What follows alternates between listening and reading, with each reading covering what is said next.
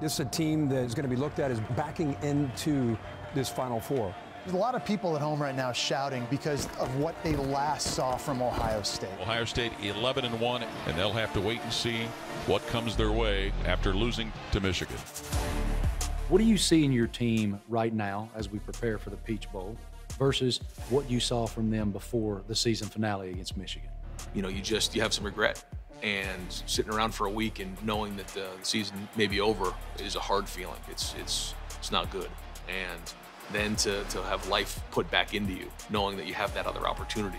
Now you, you got to go play with no regrets. So when you have a second shot at this thing that maybe you didn't have a week or two or three weeks ago, you know, it gives you that perspective that maybe you didn't have a month ago.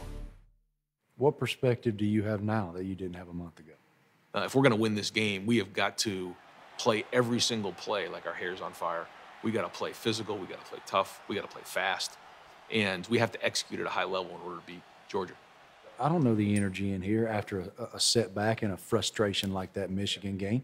What is the energy in here, and how does it impact you personally?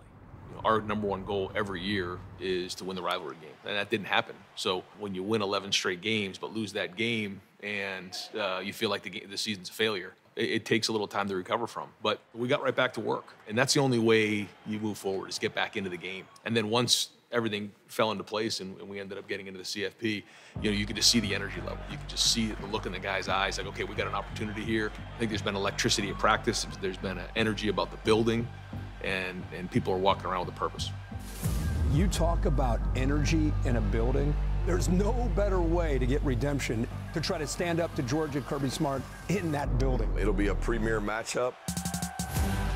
One of the challenges in Atlanta will be that it's all but a home game for the University of Georgia. What challenge does that present when you're right there in their backyard? You know, you know it's going to be hard. You know they're defending national champs. You know we're going to be underdogs. You know we're going into their backyard. All of the above is going to be hard. Good. That's the way we have to look at it. The team that can handle the ups and downs and the, the good plays, the leads, the, the being from behind, the halftime, all those ups and downs typically comes out on top.